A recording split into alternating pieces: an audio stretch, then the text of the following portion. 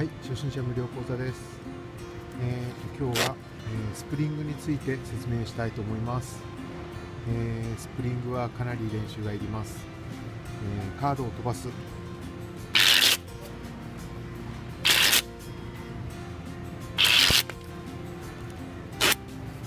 まあ、手品ではないんですけど、まあ、意外とこれかっこよく見えます。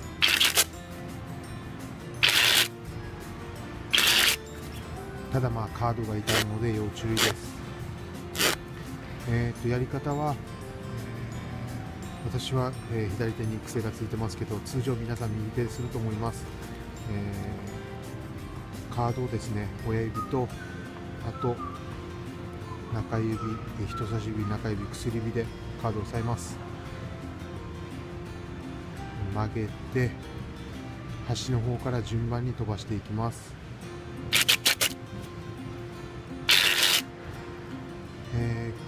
均等に押し出していくのが重要です。均等に押し出すことによってカードが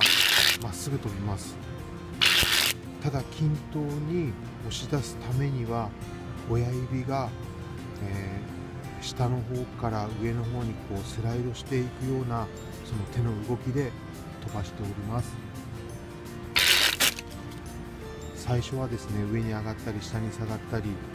カードが飛び散ったりするかと思うんですけどだんだん慣れたらそのコントロールがついてきてまっすぐ飛ばせるようになるしあ落としてしまいました。今度はちょっと距離も多め長めにとって飛ばせるようになると思います、えーもう要は力加減です、えー親指とこの、えー人差し指中指薬指曲げ具合と飛ばすその感覚、えー親指のぐずらし具合をこう考えながら練習していただくと早くできるようになると思います。